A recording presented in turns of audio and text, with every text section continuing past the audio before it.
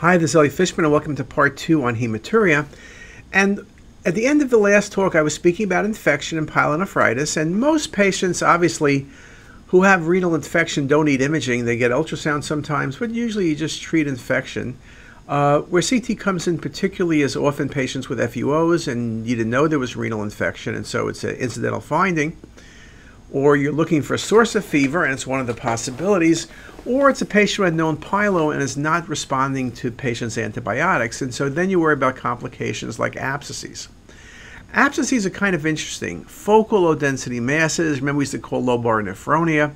They're often cystic with thickened walls, and I will make the point that at times abscesses can simulate necrotic tumors, can look identical. You see stranding in the peri and pararenal space through Gerota's fascia. Certain infections can have extensive perinephric extension. Abscesses typically are solitary, but they can be multiple. And usually they're unilateral, but not always. Pyelonephritis is not uncommonly going to be bilateral. This patient actually had a funny history. It wasn't a great history. You look at this, and I told you this is a cystic renal mass that's a carcinoma, you would say yes. But there's perirenal stranding by the psoas muscle that looks like induration of the psoas muscle. There's an enhancing rim and it's necrotic, but it's that perirenal involvement and the involvement of the psoas that I think are most helpful. And yes, I could make a case for a tumor, but when you looked into it, the patient was febrile. Here's the, uh, the um, excretory phase. Again, the, the rim. This was an abscess. Another example. Very similar appearance. Non-contrast, what's going on in the left kidney? Is that a complex cyst? Is it a tumor? What is it? With contrast, you can see it's a mass with septations and thickened wall.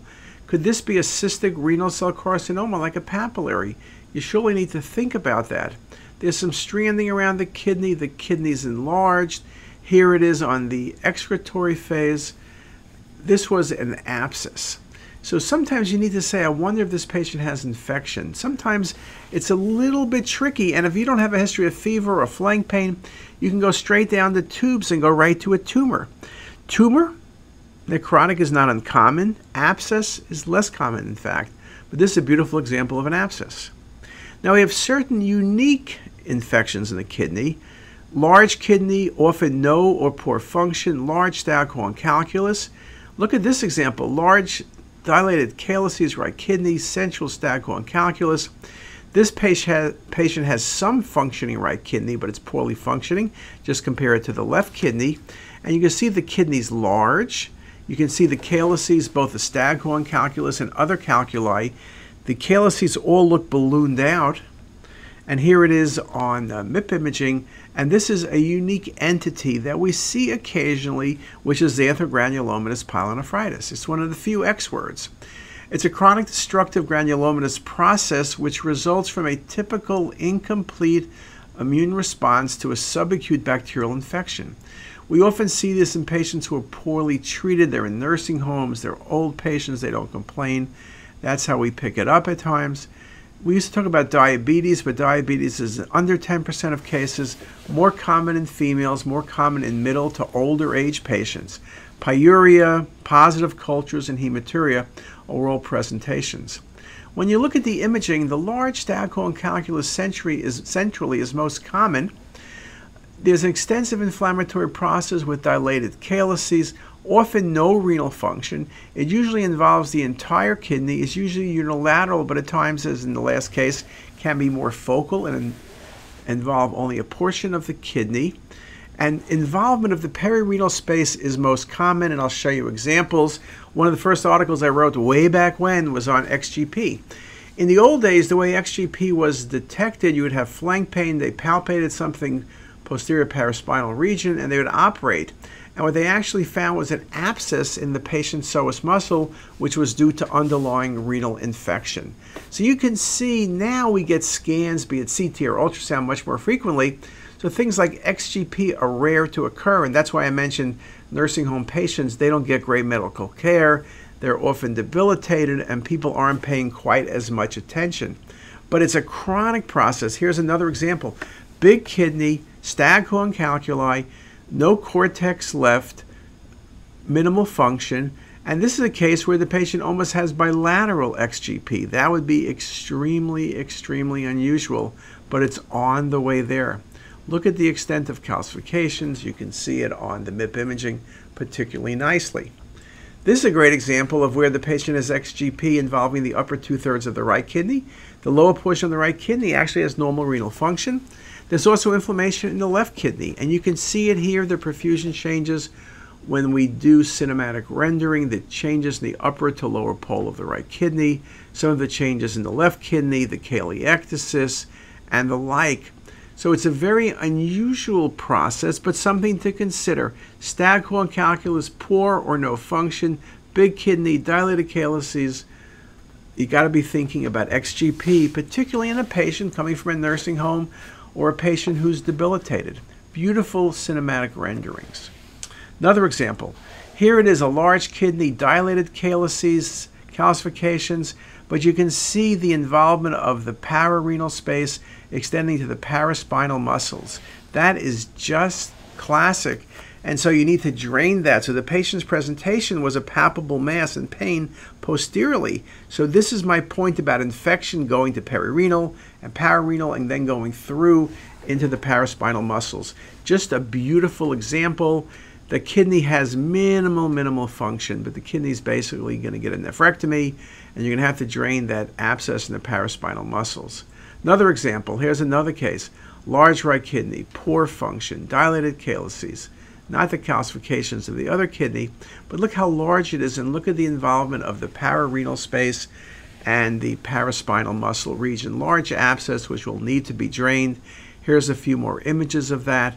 That's classic presentation of xanthogranulomatous pyelonephritis.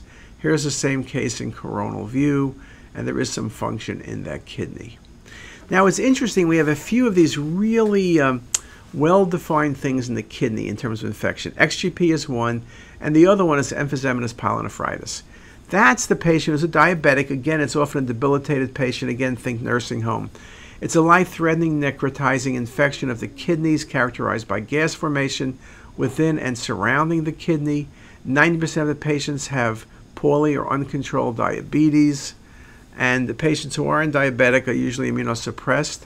Most commonly it's E. coli, but Klebsiella and Proteus are right up there.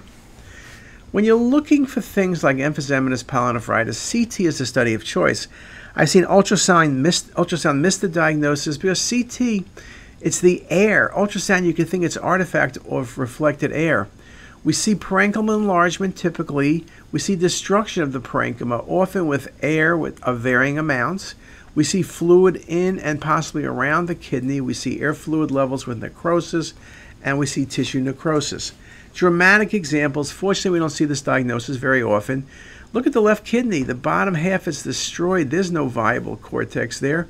Look at the extent of the involvement. You're looking at the destruction of the patient's left kidney.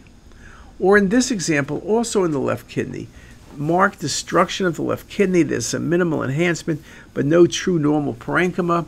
Or in this case, where you see this big dilated uh, necrotic left kidney with the air in the peri and pararenal spaces. You can see that.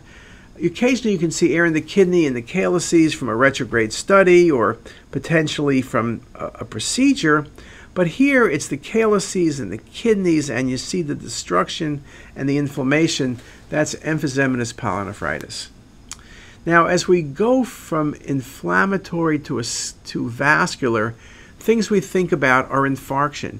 Renal infarction can be due to many things. We typically think about thromboembolism, thrombus in the left side of the heart, aneurysm of the aorta renal arteries, atherosclerosis, SBE, transcatheter embolization or other vascular procedures, and dissection of the aorta renal artery.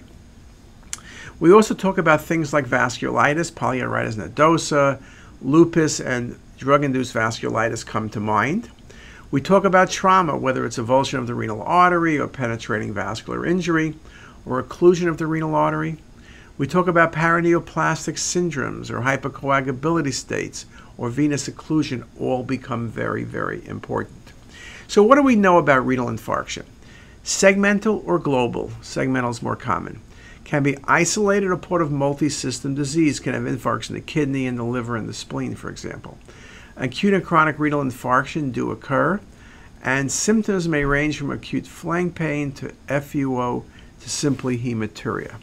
Now, what do we look at? What do we see? Well, with renal infarction, again, I mentioned focal versus global.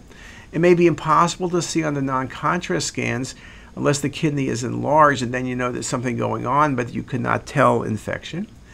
At times, it's difficult to pick up or distinguish infection from infarction, particularly early.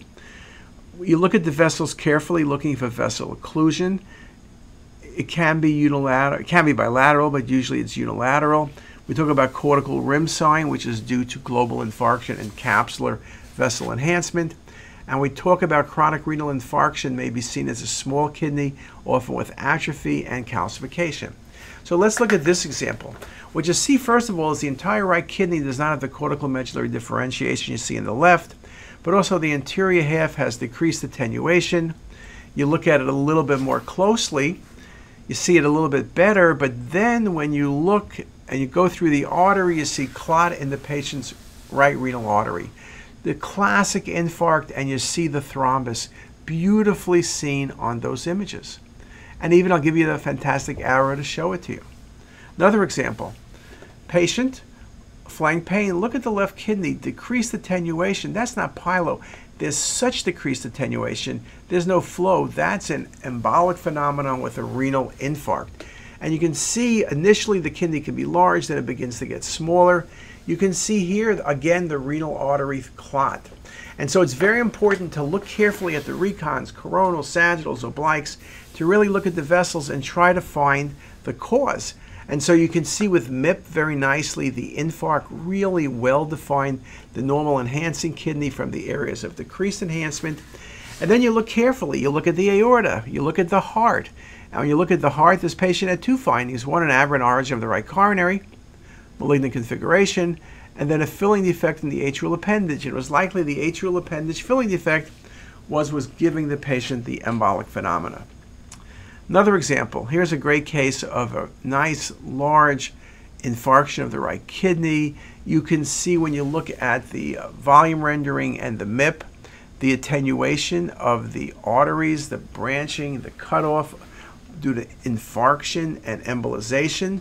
You see it very nicely on the MIP imaging, really nicely shown, though the main renal artery is well defined.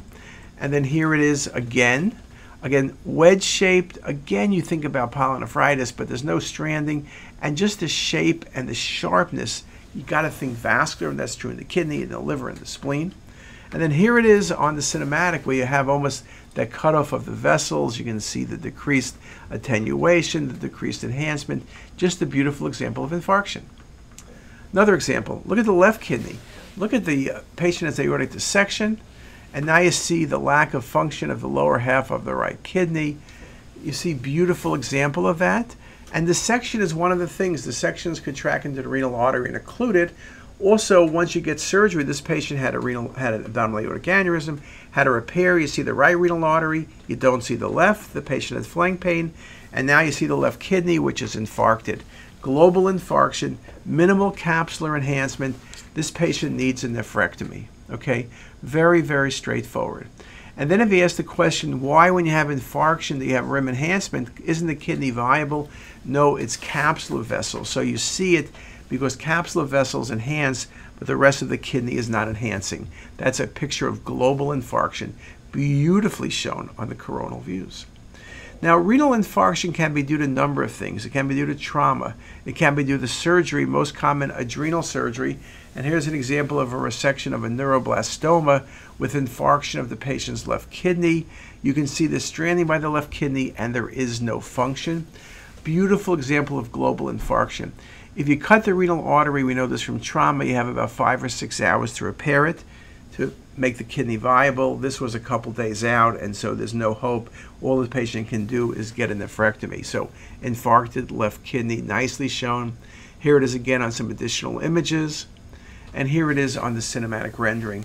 And I like the cinematic. We're doing a lot of work looking at flow, and you can see the lack of flow, the lack of enhancement. It's just beautiful in the patient's left kidney. Now, in terms of vascular stuff, we also think about things like renal vein thrombosis. Now, we typically think about the renal vein when we have a tumor and we want to know about renal vein involvement and then IVC extension. That's very common. But renal vein involvement can be due to a number of things, including things like nephrotic syndrome and the like. So let's do this. I wanted to make this into a three part, and I need to stop here to make it exactly three perfectly proportioned lectures. So I'll be back in five and see you then. Bye. If you liked what you heard here today, please make sure to hit that subscribe button and visit our website ctisus.com for lectures, quizzes, pearls, and more. Also,